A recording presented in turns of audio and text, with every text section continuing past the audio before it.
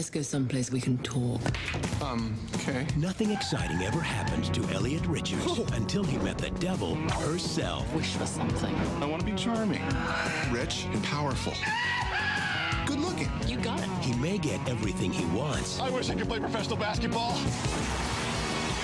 but she wants everything he's got. I have to give you my soul?